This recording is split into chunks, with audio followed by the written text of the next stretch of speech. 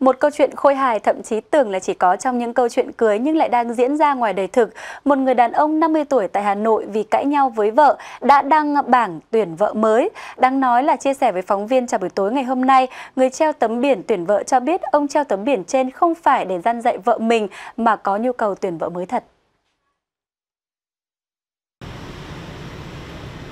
Đây là nội dung của tấm bảng tuyển vợ được ông Vọng treo lên đã được 2 ngày. Vợ Hiền là mong muốn lớn nhất khi tuyển vợ của người đàn ông này. Thì đấy, ờ, vợ tôi không muốn sống với tôi vì thấy tôi thấy thấy tôi hâm gàn quá.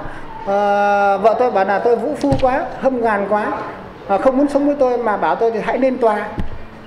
Và vợ tôi cũng nói rằng anh là hãy thể hiện một người đàn ông đi. À, tôi đã không thích rồi thì anh đừng đừng đừng níu kéo làm gì.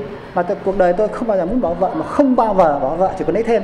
Thế thì vợ tôi mạnh mẽ bạn như vậy, thì tôi bây giờ con đường nào? Tôi đi cầu cứu ờ, hàng xóm à? Cầu cứu tổ tiên à? Không. Cầu cứu bạn bè à? không. Tôi phải làm cách đó. Lịch sự nhất, đàng hoàng nhất, minh bạch nhất và công khai nhất. Không còn nào. Và nhân quyền tôi không vi phạm. Đúng không? Chúng tôi vẫn ăn cơm, vợ tôi vẫn chăm sóc tôi từ sáng tối hai ngày sau khi treo biển, ông cho biết không cô gái nào đến vì có thể nghĩ mình bị hâm. Nhưng ông vẫn tiếp tục treo tấm biển này và sẽ không có ý định dỡ xuống. Người vợ cho biết là sau khi hai vợ chồng cãi nhau thì ông chồng tự làm biển rồi treo lên. Cả hai đã lấy nhau được 16 năm và đã có một con trai 14 tuổi. Việc người chồng đăng tin để tuyển vợ công khai như vậy thì làm vợ cảm thấy rất xấu hổ và cũng sợ con cái là xấu hổ với bạn bè nữa.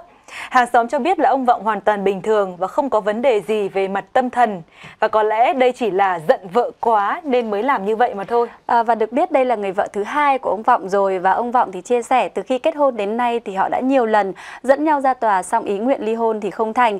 Bởi sau đó thì ông Vọng muốn hàn gắn và bù đắp tình cảm. Năm 2004 thì ông cũng đăng bảng tuyển vợ một lần nhưng mà vợ cho qua. Nhưng lần này thì người vợ cho biết là sẽ báo với cơ quan chính quyền địa phương sớm vào cuộc để giành lại công bằng cho chị.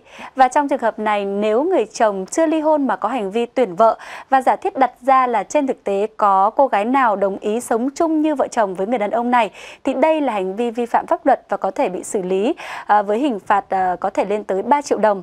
Và đặc biệt, nếu gây ra hậu quả nghiêm trọng thì có thể bị xử lý hình sự.